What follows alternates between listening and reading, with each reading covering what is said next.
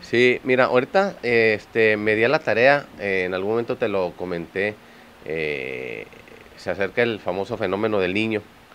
Y realmente bueno ha habido mucha este muchos temas de, de, mucha gente que el fenómeno cómo viene si viene débil moderado eh, entonces realmente bueno como como protección civil más que nada implementamos lo que es la, la, coordinación y, prevención eh, en esto eh, hemos estado hemos estado implementando me di la tarea de, de, de acercarme con la con la dependencia de desarrollo social que es realmente ellos quienes tienen el padrón de tienen el padrón de los comités que manejan creo que alrededor de 80 o 90 comités de vecinos. Entonces ahí me estoy coordinando con ellos, sobre todo con este con ellos para ellos ellos convocan y como Protección Civil eh, nos acercamos a implementar lo que es el plan familiar de Protección Civil.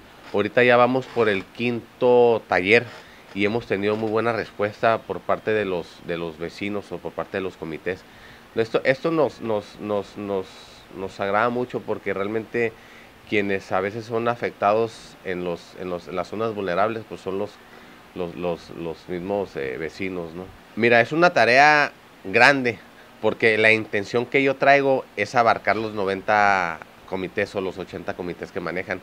Esto estamos hablando de a nivel municipio Rosarito. Entonces, eh, esa es la intención abarcar todos. No sé qué tan este, qué tanto nos, nos pueda llevar eso. Es por eso que cada semana los estamos implementando. En algunos comités se acercan otros de otras colonias.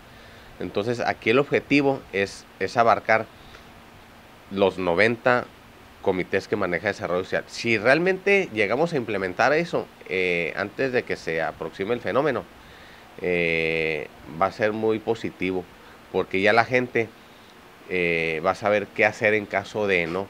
Más que nada, en ese plan se les, se les hace saber muchas cosas. No nomás de una inundación o que te quedes incomunicado, sino también para incendios forestales y todo eso. Pero más que nada nos estamos enfocando ahorita un poquito más en el tema del fenómeno del niño. E, es el tema principal, ¿no?